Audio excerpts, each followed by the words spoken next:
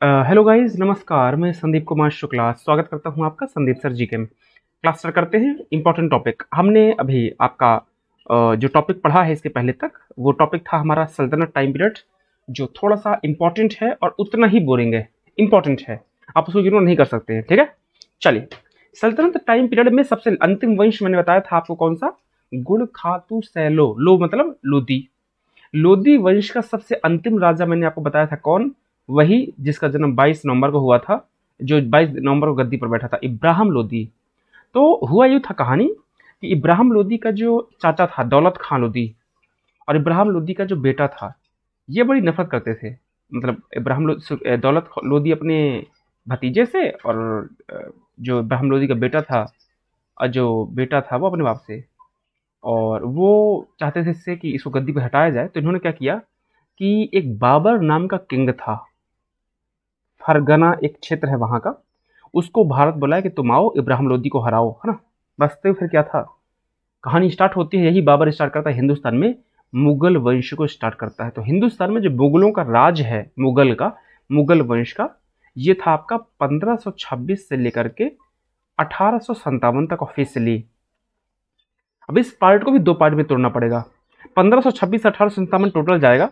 मतलब बाबर से लेकर के बहादुर शाह जाफ़र का नाम आपने सुना होगा। बहादुर शाह जाफ़र, बहादुर शाह तूतिए इसका नाम सुना होगा आपने, अठारह क्रांति में। तो ये दो पार्ट में डिवाइड होगा। एक स्टार्ट होगा आपका 1526 से 1707 1526 से 1707 इस टाइम पे टोटल मिलाकर के छह महत्वपूर्ण किंग आते हैं। किसके? मुगलों के। कौन कौन आते हैं? भाजी, सब्ज़ी, सॉरी, भाजी और साग।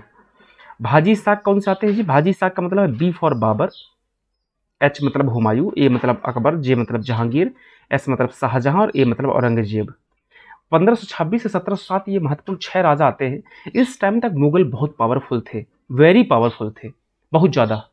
लेकिन औरंगज़ेब के बाद फिर जितने आते हैं, वो फिर किसी काम का नहीं थे। मतलब वो सिर्फ़ नाम मात्र के राजा थे, ज़्यादा कुछ नहीं था उनका। तो औरंगज़ेब के बाद जो और मुगल्स आएँगे, वो उतना ज़्यादा ज़्यादा ना तो ज़्यादा पावरफुल है, ना ज़्यादा उनके पास पॉलिटिकल पावर है, ना इकोनॉमिक पावर है, ना मसल पावर है, कुछ नहीं है, ठीक है? चलिए, ये हमें दिमाग में हमेशा रखिएगा इस बात को, ठीक है? चलिए तो स्टार्ट करते हैं। मुगल साम्राज्य की स्थापना करते हैं अपन 1526 को 1526 को, और पढ़ेंगे बाबर के बारे में, फिर आज हुमायूं के बारे में भी इसी क्लास में पढ़ लेंगे। तो सबसे पहले तो ये क्वेश्चन पूछता है कि जो मुगल है कौन है मुगल? ये मुगल और मंगोल एक जैसा लगता है है ना? बिल्कुल। जो मंगोल हैं मंगोलों में से वो लोग जिन्होंने इस्लाम को स्वीकार कर लिया था, उनको मुगल कहा गया। क्वेश्चन पूछा है एक बार एग्ज़ाम में। यूपीएससी में पूछा था हालाँकि। कि ऐसे मंगोल जिन्होंने इस्लाम को स्वीकार कर लिया था, उन्हें मुगल कहा गया। और इनमें राजा था आपका, कौन? स्टार्टिंग थी बाबर से। 1526 से 1530 तक ये राजा था। 1526 में युद्ध जीतता है वहाँ से लेकर के 1530 तक था। फिर 1530 से 1530 से इसका बेटा हुमायूं आ जाएगा। तो जो बाबर है, इसके मदर और फादर की दो डायनेस्टी इंपॉर्टेंट हैं। अगर फादर की तरफ़ से जाएँगे तो तैमूर का नाम आपने सुना होगा, तैमूर लंगे। सैफ अली खान का बेटा नहीं, एक तैमूर बहुत बड़ा किंग था, बहुत क्रूर टाइप का था, बहुत हत्यारा टाइप का था तो तैमूर का नाम आपने सुना होगा तो तैमूर के अगर पिताजी के साइड से जाएँगे तो पिताजी के साइड से जब देखेंगे इसकी जनरेशन को तो तैमूर का पांचवा वंशज था बाबर। फिफ्थ जनरेशन थी। लेकिन अगर आप मम्मी के साइड से जाओगे तो आपने चंगेज खान का नाम सुना होगा, आपने हंड्रेड परसेंट सुना होगा। तो चंगेज खान का चौदहवा वंशज था ये। मतलब मम्मी के साइड से चंगेज खान का ये आपका डायनेस्टी है और फादर के साइड से तैमूर लंका, दोनों बहुत डेंजरस थे। क्वेश्चन पूछा है। याद रहेगा? चलिए। आगे। चौदह फरवरी चौदह सौ तिरासी को फोर्टीन फरवरी को, है ना? वैलेंटाइन डे हालाँकि उस टाइम पर नहीं मनाया जाता था। तो चौदह फरवरी को बाबर का होता है जन्म। कहाँ पर होता है? फरगना नाम की एक जगह में। ईयर इंपॉर्टेंट नहीं है, लेकिन अगर याद हो जाए तो अच्छी बात है, चौदह में, वन फोर एट थ्री में। कहाँ पर होता है? बाप का नाम था उमर शेख मिर्ज़ा। क्या नाम था? उमर शेख मिर्ज़ा, इसके पिताजी का नाम था। बाप का नाम उमर शेख मिर्ज़ा, जो कि फरगना नाम का एक छोटा सा राज्य था, फरगना। वहाँ पे ये क्या था? राजा था छोटा सा। राजा था, ज़्यादा कुछ नहीं था। डन? चलिए। उसके बाद में 1507 में 1507 में बाबर ने पादशाह का टाइटल लिया। बादशाह नहीं, पादशाह। P A D S H A H याद रखना, ठीक है? पादशाह भी अपने आप में एक टाइटल होता है भाई साहब। तो जो बाबर है, इसने 1507 में पादशाह का टाइटल लिया था। इंपॉर्टेंट है, ठीक है? चलिए। बाबर के चार बेटे थे, हुमायूं, कामरान, अस्करी और हिंदाल। कई लोगों को लगता है कि बाबर का एक ही बेटा था हुमायूं। ना, हुमायूं, बाबर के चार बेटे थे, हुमायूं, कामरान, अस्करी और हिंदाल। याद रखिएगा। हालाँकि बाद में हुमायूं का नाम आगे चलेगा क्योंकि कामरान, अस्करी और हिंदाल उतने पावरफुल नहीं थे और धीरे धीरे खत्म हो गए। तो लेकिन याद रखिएगा, इसके चार बेटे थे। आगे, इसने हिंदुस्तान में, उस टाइम तो हिंदुस्तान था, पाँच अटैक किए थे। कितने? पाँच बार अटैक किया था। 1519 में 1519 में, इसने यूसुफ जई जनजाति थी एक। ट्राइब था। वहाँ पर इसने अटैक किया और अटैक करने के बाद में बाजौर और भेरा, ये दो किले पर कब्जा कर लिया था। कब? 1519 में 1519 में। कई लोगों को लगता है कि 1526 में जो बाबर ने अटैक किया था, वो पहला अटैक था, ऐसा नहीं है। ये उसके पहले भी पाँच अटैक कर चुका था, जिनमें से एक अटैक था 1519 का। जिसमें उसने यूसुफ जई जनजाति जो है ट्राइब है उसके खिलाफ किया था। उसमें बाजौर और भेरा का फोर्ट इसने क्या कर लिया था? कब्जा कर लिया था। ठीक है? चलिए। उसके बाद दौलत खां लोधी राणा सांगा और आलम खां। दौलत खां लोधी कौन था? इब्राहिम लोधी का चाचा। आलम खान कौन था? आलम खां इब्राहिम लोधी का बेटा था और एक था राणा सांगा।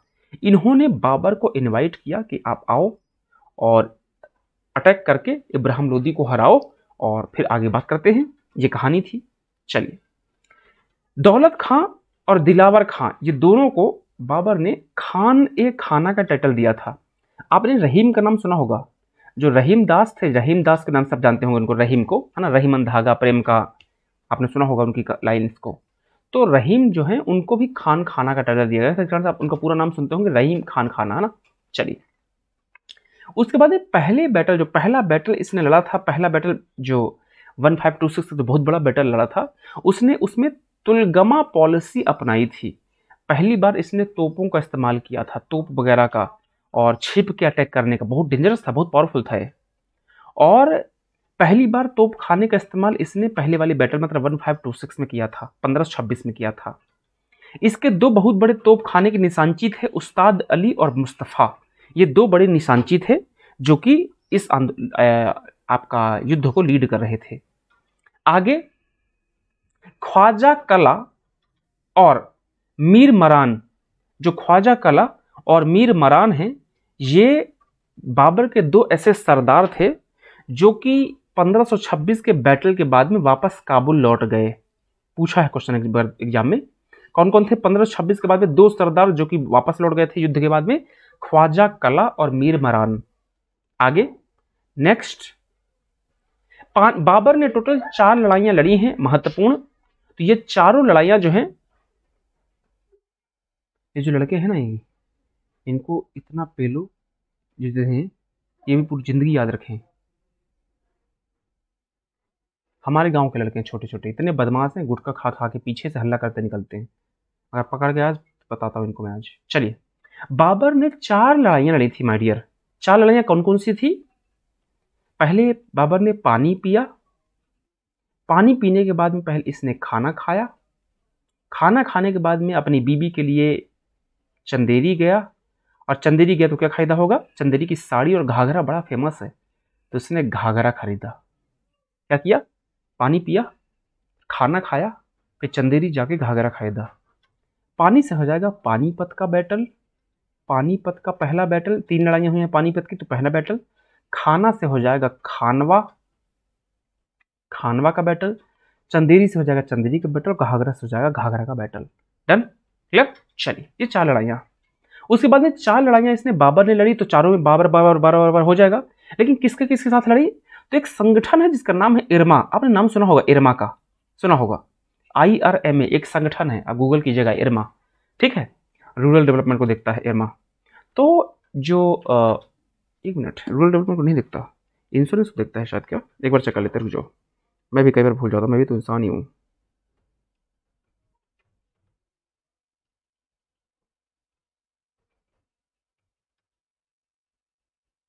बिल्कुल सही बोला था मैंने। Institute of rural management Anand का है ना?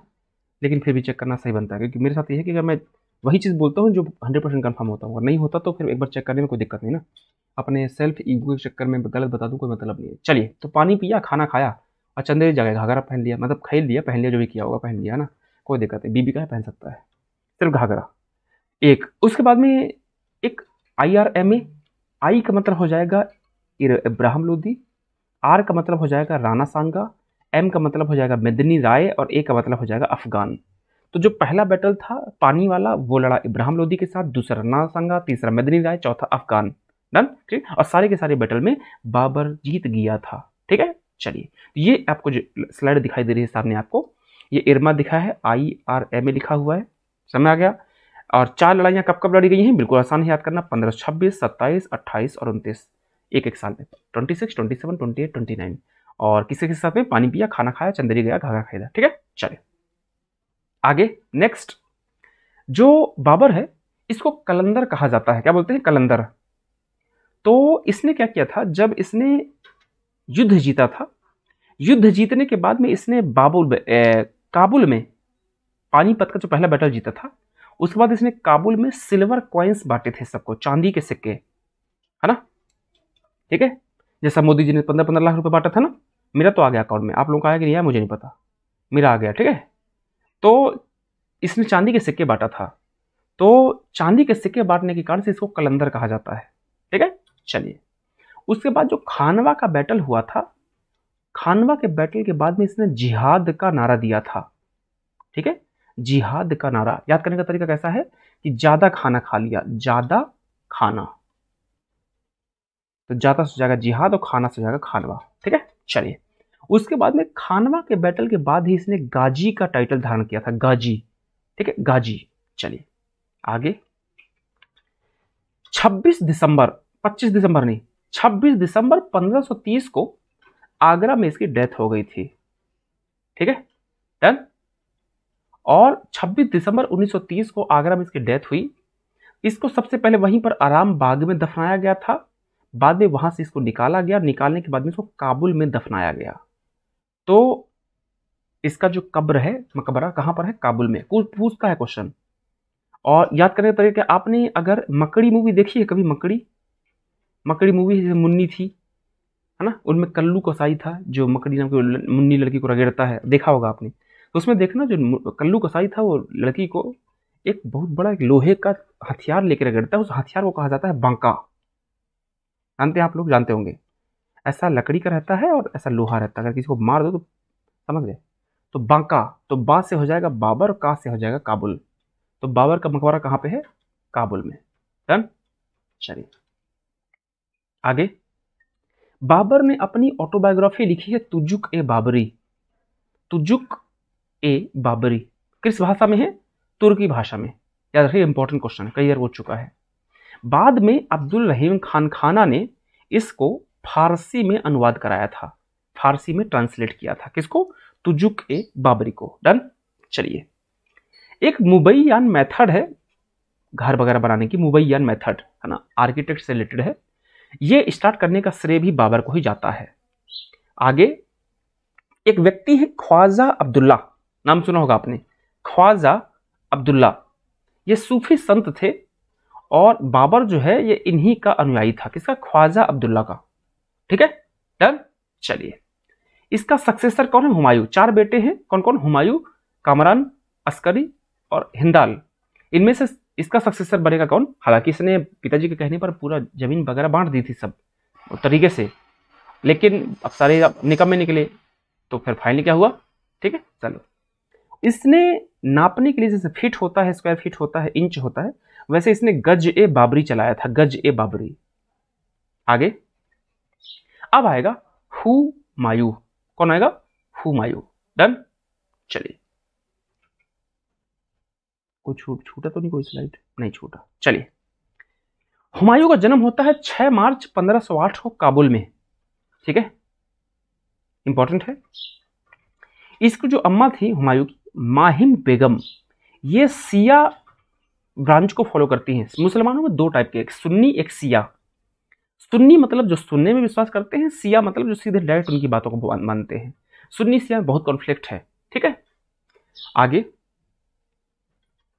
हुमायूं के बारे में कहा जाता है कि इसको फिलोसॉफी का बहुत नॉलेज था एस्ट्रोलॉजी का बहुत नॉलेज था मैथ्स का बहुत नॉलेज था। किसको? हुमायूं को, ठीक है? चलिए। 30 दिसंबर 1530 को हुमायूं बैठता है गद्दी पे, क्योंकि बाबर तो मर गया। तीस में ही मर गया ना? कमरा 26 दिसंबर को। तो चार दिन बाद फिर गद्दी में बैठा। कितना साल का था he was twenty three years old आगे।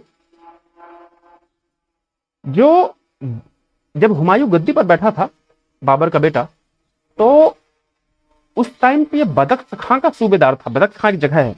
वहाँ का सूबेदार था ये। पिताजी के कहने पर इसने अपनी ज़मीन, जायदाद, एरिया वगैरह बांट दिया था। इसमें इसने काबुल, कंधार और पंजाब दे दिया था कामरान को, संभल दे दिया था अस्करी को, अलवर और का एरिया दे दिया था मेवाड़ का एरिया दे दिया था हिंदाल को, और बदक दे दिया था सुलेमान मिर्ज़ा को। सुलेमान मिर्ज़ा कौन था? सुलेमान मिर्ज़ा से चाचा का लड़का। तो कितना अच्छा था कि चाचा के लड़के तक को इसने क्या कर दिया? बांट दिया। ठीक है? चलो। आगे। चौसा का बैटल बक्सर के पास एक जगह है चौसा। वहाँ पर 25 जून पंद्रह को लड़ाई होती है शेर खां और हुमायूं के बीच में। चौसा का बैटल जो है, जो बक्सर के पास है 25 जून पंद्रह को लड़ाई होती है, जिसमें शेर खां हुमायूं के बीच में, जिसमें शेर खां जीत जाता है और शेर खां जीतने के बाद में एक टाइटल धारण करता है, जिसको शेर शाह बोला जाता है। ठीक है? कई जगह पर यह भी ज़िक्र मिलता है कि शेर खां ने, इसका शेर खां नाम पड़ा था क्योंकि इसने एक बार एक शेर को हराया था। इस कारण से इसका नाम शेर खां था। हालाँकि पुराने राजा महाराजा की स्टोरी आप सुनोगे तो वो अपने आप को बहान बताने के लिए करते थे कि शेर को हरा दिया तो शेर खां, ये करते थे। ठीक है? दूसरा बैटल होता है बेलगाम का बैटल बेलगाम को कन्नौज का बैटल ही कहा जाता है। ये 1540 में हुआ था। और इस 1540 में हुमायूं हार गया। और शेर खां मतलब शेरशाह ने आगरा और दिल्ली पर कब्जा कर लिया। और यहाँ से 1540 से हुमायूं बर्बाद हो जाएगा। ठीक है, ज़्यादा अच्छा होना भी ठीक नहीं होता है। पंद्रह सालों तक 1540 में हुमायूं गद्दी से भागेगा उठ के और पंद्रह सालों तक दर दर भटकेगा जंगल में। दर दर भटकता है। लेकिन विवाद में हालाँकि लेडी लक काम करता है इसके लिए। आगे। बिलग्राम का बैटल हुआ था हुमायूं और हाँ ठीक है, चलो। हो गया? चलिए, जो बता दिया मैंने ना। अब बिलग्राम के बैटल के बाद जो हुमायूं है, ये सिंध के जंगलों में पंद्रह साल तक भटकता रहा। उसके बाद में इसका एक भाई था, जिसका नाम था हिंदाल, है ना? हिंदाल। तो हिंदाल के गुरु थे मीर बाबा दोस्त। ये दोस्त है, दुष्ट नहीं सॉरी ओ लिखते लिखते यू लिखा गया है। तो हिंदाल के गुरु थे मीर बाबा दोस्त, जिनको मीर अली अकबर जामी कहा जाता है। उनकी बेटी थी जिसका नाम था हमीदा बानू बेगम। भाई साहब ने उससे शादी कर ली। मतलब कहानी कुल मिला के हो गई थी रंग दे चुनरिया वाले जो सिंगर हैं, है ना? क्या नाम उनका? क्या नाम उनका सिंगर का? अनूप जलोटा और उनकी जो वो हैं, मैडम, क्या नाम उनका? जे वैसलिन, जसलिन, कौन है वो? हाँ वैसलिन से कम नहीं है, बहुत चिकनी है। तो तभी तो फिसल गया अनूप जलोटा तो हमीदा बानू बेगम जो है, ये इनसे शादी कर ली इसने और कब की थी? 29 अगस्त 1541 को। और 29 अगस्त 1541 को ही मतलब 29 अगस्त को ही माइकल जैक्सन का जन्म हुआ। और 29 अगस्त को ही ध्यानचंद का ही बर्थडे है। और 29 अगस्त को ही ड्राफ्टिंग कमेटी भी बनाई गई थी। तो ऐसे करके याद कर लिया करो इंपॉर्टेंट है। ऐसी डेट वेट रिवाइज कर लिया करो। और इसी हमीदा बानू बेगम से बेटे का जन्म हुआ था, जिसका नाम है अकबर। आगे। अब बाबर लौटेगा और 1540 के बाद में बाबर आता है 1555 में 15 साल बाद। सर हिंद की होगी लड़ाई हुमायूं और सिकंदर सूरी के बीच में, जिसमें सिकंदर सूरी हारेगा और हुमायूं जीतेगा और हुमायूं पुनः दिल्ली की गद्दी पर बैठेगा। ठीक है? हुमायूं से एक चीज़ सीखने लायक है। हम अगर ज़िंदगी में एक बार फेल हो जाते हैं, इसका मतलब ये बिल्कुल भी नहीं कि हमेशा फेल होंगे।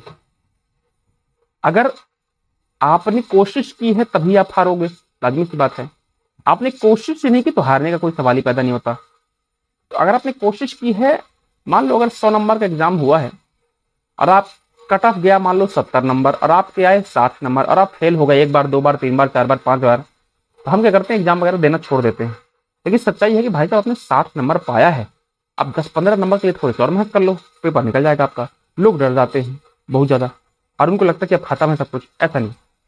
तो हुमायूं से चीज़ सीखने लायक है कि हुमायूं डेडिकेशन देखो, उसका धैर्य देखो। लगातार कोशिश करता रहा, उस कोशिश की रिज़ल्ट देखिए।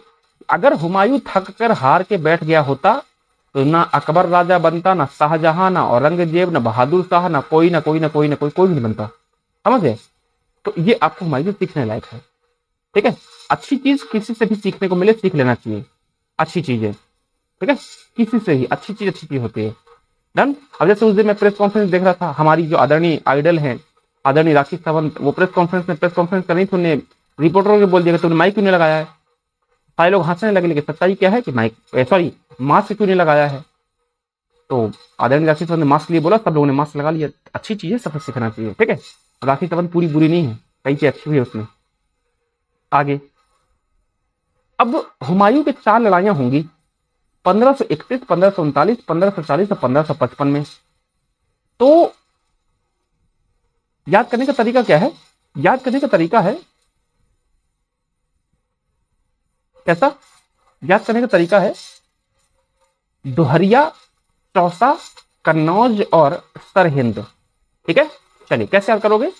याद करने का तरीका है डायरेक्ट कनेक्शन। याद कर लो ऐसे डायरेक्ट कनेक्शन। खुशी, शुक्ला, बस। तो डायरेक्ट से हो जाएगा डी कनेक्शन से हो जाएगा सी खुशी से हो जाएगा के और शुक्ला से हो जाएगा एस तो D for Dohariya C for Chausa K for Kannauj और एस फॉर सरहिंद। खत्म बात कर लेना। डन ठीक है? चलिए। तो पंद्रह सौ इकतीस में दोहरिया हुआ, उनतालीस में चौसा हुआ, चालीस में कन्नौज हुआ और पचपन में सरहिंद हुआ। ठीक है? चलिए, ये हो गए महत्वपूर्ण बैटल आगे। एक जनवरी पंद्रह को, first January one five five six को, दीन पन्ना लाइब्रेरी से भाई साहब गिर गए। कौन? बाबर, बेटे हुमायूं, और गिरे तो हो गई इनकी डेथ। तो डेथ होने के बाद में एक इतिहासकार है, लेन पोल। कई बार होता है कि आप ज़िंदगी में खुशी नहीं लिखी रहती है। और जिनके में लिखी रहती है तो वो फिर तो कभी भी सेंटा क्लास टपक जाता है। तो लेनपुन नाम का इतिहासकार है और लेनपुन नाम के इतिहासकार ने बाबर के हुमायूं के बारे में लिखा कि भी ज़िंदगी भर लड़खड़ाता रहा और ज़िंदगी भर लड़खड़ाने के बाद में ये लड़खड़ा कर ही गिरकर मर गया। मतलब पूरी ज़िंदगी लड़खड़ाता रहा और बाद में लाइब्रेरी की सीढ़ी से लड़खड़ा कर गिरकर मर गया। हुमायूं के बारे में कहते हैं कि ये आपका कपड़े बहुत सोच के पहनता था, जितना बड़ा ज्योतिष था, ये हर दिन के हिसाब से कलर कपड़े पहनता था। अब हमको जब वसीम सर एक बार इतिहास पढ़ा रहे थे तो हमारे साथ एक लड़का था जिसका नाम था हर्ष। तो उसने तुरंत हंस के पूछा, सर, ये पूरे कपड़े कलरफुल पहनता था या अंडरवियर बनान भी कलर चेंज करता था? तो सर बोले, बेटा, मैं तो नहीं था वहाँ पे बदलवाने के लिए। उसके बाद तुम होते तो काश ये नोट करके मेरे को बता दिए होते तो मैं भी पढ़ा देता बच्चों को। भाई, कपड़े बदलता था, कपड़े कपड़े पूछेगा पर एग्ज़ाम में कोई अंडरवियर बनाने तो नहीं पूछने वाला भाई साहब। हालाँकि कई लोगों को जिज्ञासा होती है, तब भाई साहब मुझे इसके बारे में ज़्यादा जानकारी नहीं है, ठीक है? चलो। आगे वन फाइव फाइव थ्री में पंद्रह सौ उल्टा लिख दिया मैंने। अभी मुझे बोला पंद्रह सौ तिरपन नहीं, पंद्रह सौ सैंतीस। वन फाइव थ्री थ्री में दिल्ली में इसने दीन पनाह बनाया था और उसको पता भी नहीं था कि ठीक तेईस साल बाद ट्वेंटी थ्री ईयर्स के बाद इसी से गिरकर बेचारा मर जाएगा। ठीक है? चलो। आगे चित्तौड़ की महारानी थी जिनका नाम था कर्णावती, पद्मावती नहीं वो हुमायूं को राखी भेजा करती थी। राखी। डन? चलिए, ये तो हो गया बाबर और हुमायूं। कल वाली क्लास में अकबर आगे। ठीक है? चलिए, मुझे उम्मीद है पसंद आ गया होगा। ऐसे ही पढ़ना है, तरीके से पढ़ना है। अपना ध्यान रखिए बाय